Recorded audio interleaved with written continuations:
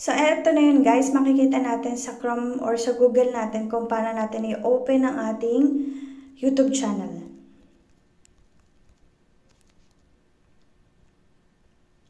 Ayan. Sign in. So, open, use another account na lang tayo. Nagko-continue. So, i-continue natin password,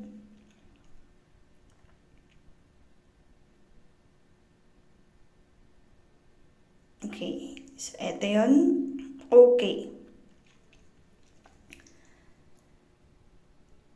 So, this is how it looks like yung kapag sa Google natin inopen yung ating mga uh, YouTube channel. So, punta lang tayo dito sa your channel. Ito yung itsura kapag nakikita nyo sa desktop nyo or minsan di ba mobile lang. Ganyan yung itsura niya kapag desktop or sa computer.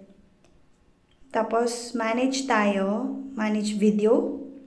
So dito natin makikita kung paano kung paano natin makikita yung mga nagsasubscribe sa atin na which is minsan hindi naman notify dun sa application natin kapag yung sa phone lang. So, dito natin makikita kung paano natin sila, makikita natin dito sa dashboard. Ayan, ito yung dashboard natin. Makikita nyo lahat, yung comments, yung analytics, and pupunta tayo dito sa baba, yung recent subscriber. Napakadali lang guys. So, dito sa side na to, makikita nyo yung channel name. Dito naman yung date na nagsubs uh, nagsubscribe, mga subscribe count nila ito yon and ito, and yung actions. So, dito makikita natin guys sa row page sa baba, 50 natin. So, ayan yung mga nag-subscribe sa akin. So, makikita nyo, for example, si Ninong Game, ito yung, ayan, hindi pa ako nakasubscribe sa kanya. So, hindi siya sa akin na-notify nung kapag yung regular application lang natin sa phone natin Which is lalo na minsan pag hindi sila nagko-comment, o yan, pwede natin siya mat-check. So, titingnan natin kung pwede na natin siya i-subscribe after natin manood ng mga videos and mag-like and subscribe tayo sa kanya. So, i-click lang natin dito, magda-direct siya sa atin sa application. So, eto na yung si Nino Gaming. Ayan. So, i-cancel muna natin siya. Maya na natin siya balikan. So, pwede nyo siyang i-second page. Ito pa yung mga hindi nakasubscribe subscribe sa atin. So, babalik-balikan lang natin yan. And, very simple lang guys. So, dito pwede nyo makita yung, yung mga last 7 days na uh, nag-subscribe sa inyo. And yung mga hindi nyo na nababa, hindi nyo pa, pa nababalikan. And if you want naman 28 days, 90 days, and 365 days, meron din, and lifetime.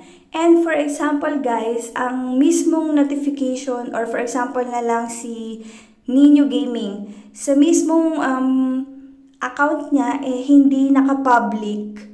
Dito nyo yun makikita yung only includes user who have made their subscription public. So, if you uh, if you click yung learn more, doon mababasa nyo lahat.